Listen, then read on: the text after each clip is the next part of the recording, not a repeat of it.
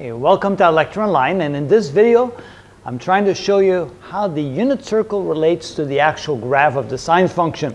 So here we have the y and theta axis on which we're going to draw the, uh, the sine function and here we have the unit circle and the y values of a point on the unit circle. So this is the xy point right there, the xy point.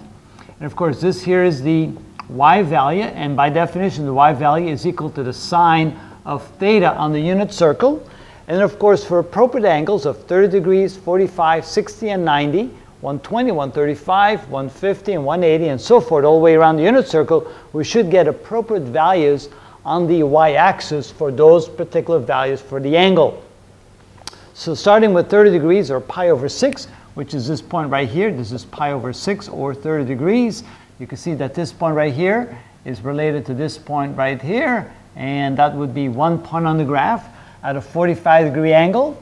That would be right here. We are at this point at a 60 degree angle right here. This is 60 degrees. Uh, we're going to be uh, right over here. And at 90 degrees, we're right there at 1. So that's how you find the appropriate points on the graph that corresponds to the point on the unit circle equal to the y value of those points on the unit circle relative to the particular angles. For example, this here is a 30 degree angle, which is equal to pi over 6.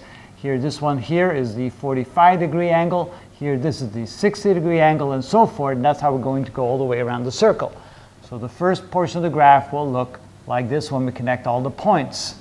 And we continue over here at 120 degrees. We're back to this point right there. That would be this point right here, corresponding to this point right there at 135 degrees. Right here, we're at this point at 150 degrees. We're at this point, and then we're back to zero. So you can see that our graph looks like that. And then continuing on, uh, below the x-axis right here, that's this point right there. That would be for the next point. We're over here.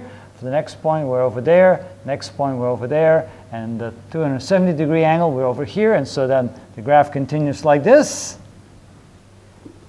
And finally, when we find the last few points, so this point right here is corresponding to this point right here. The next one over here corresponds to this point right there. The next point right there corresponds to this point right here. And finally, we're all the way around the circle, and we're back to there. And so our next set of points look like that. And so that's what our sine function looks like. Notice that the points in the graph of the sine function directly correspond to the y values along the unit circle as you go all the way, all the way around the circle and for all the various angles on the unit circle. And hopefully that'll show you the relationship between the sine function or on the graph versus the unit circle. Now if you continue past 2 pi, the whole thing starts over again.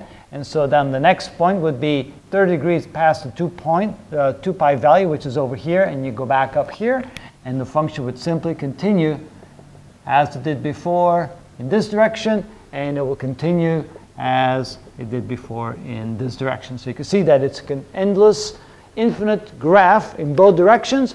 But if we talk about the function, we usually talk about the function between 0 and 2 pi. Of course, it repeats infinitely in both directions as you just continue going around the unit circle forever and ever and ever.